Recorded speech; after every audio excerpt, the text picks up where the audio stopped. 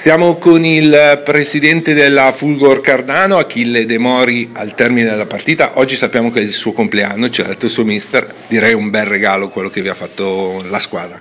Beh, sì, sicuramente il più bel regalo che potessi ricevere, è un risultato, mi sembra che non faccia una piega è chiaro che noi a Castellanza ci troviamo bene. Infatti nella passata stagione 4-1 È un campo che ci porta bene, ma è la squadra che tecnicamente è valida e quindi su questi bei campi riesce a esprimersi al meglio. Insomma.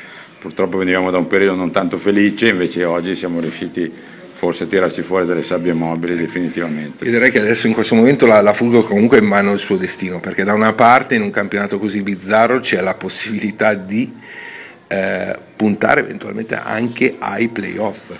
Ma sarebbe un risultato disperato visto come erano conciati solo fino a due settimane fa, conciati più che altro moralmente perché sul piano del gioco c'è sempre stata una grande attenzione da parte dei ragazzi. Era stata un'annata un po' sfortunata, nel girone di ritorno non riusciamo a, a, segnare, purtroppo nel calcio quando non si segna è un po' duro andare avanti. Ecco Presidente, gli auguri li facciamo noi, magari lei vuole fare una dedica al suo, al suo gruppo. Ma io la dedica la faccio volentieri, soprattutto in una domenica così bella per me. Oltretutto ne approfitto anche per fare gli auguri alla Castellanzese perché mi sembra una società veramente modello con la M maiuscola, quindi fa sempre piacere venire a giocare con queste società qui. Insomma. Quindi gli in bocca al lupo lo faccio di cuore veramente alla Castellanzese. Ringraziamo il Presidente della Fugor, arrivederci. Grazie di tutto e grazie per l'accoglienza soprattutto. Siamo con il Presidente Affetti al termine di una partita eh, a cui Presidente lasciamo l'onere di commentare. È proprio l'onere, partita che è nata male contro una squadra brillante, determinata, differentemente da noi che purtroppo l'abbiamo subita, ecco. questa è la differenza.